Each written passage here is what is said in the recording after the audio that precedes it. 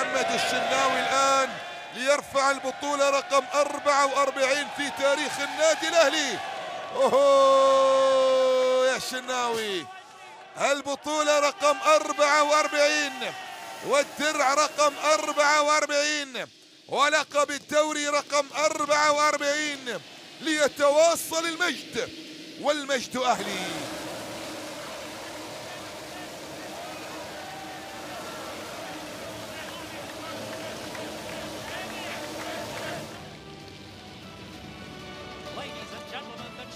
Of the Egyptian Nile League 23-24. It's the Red Devils. It is Al Ahly.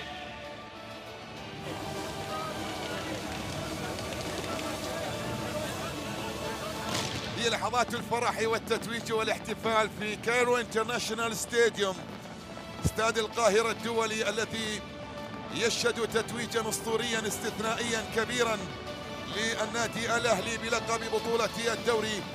رقم 44 في تاريخه لتشتعل سماء القاهرة. فرحة مبتهجة بهذا الانتصار والتتويج. ولتتزين بالألعاب النارية في هذه الاحتفالية. هكذا مجلس إدارة النادي الأهلي وما بينهم عم حارس الذي يواصل كتابة الإنجازات.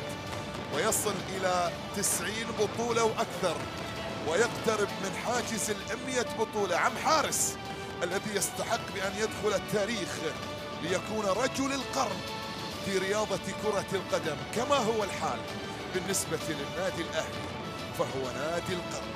بالصوت والصورة